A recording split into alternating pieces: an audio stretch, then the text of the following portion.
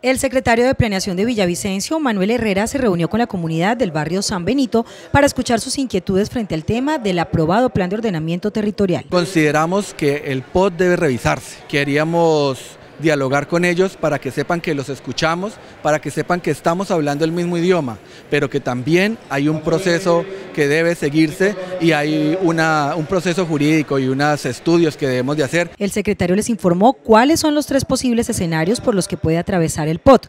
El primero podría ser su implementación tal y como fue aprobado el año pasado. El segundo es las demandas eh, que tienen cabida en este proceso durante los primeros cuatro meses.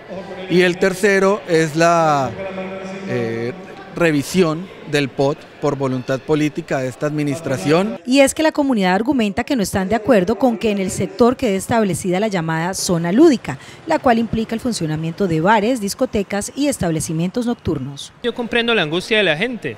Es un POT lesivo que atenta obviamente contra el buen vivir, contra la tranquilidad de sus vecinos y obvio la gente quiere resultados ya. Sabemos que hay un trámite y es un trámite dispendioso el tema de la reformulación del POD, el tema de la revisión excepcional, pero también sabemos que no es el único camino que requiere la gente, la gente puede demandar. La comunidad anunció que mientras se toma una decisión, el próximo jueves 25 de febrero saldrán a una marcha pacífica por las calles de la ciudad.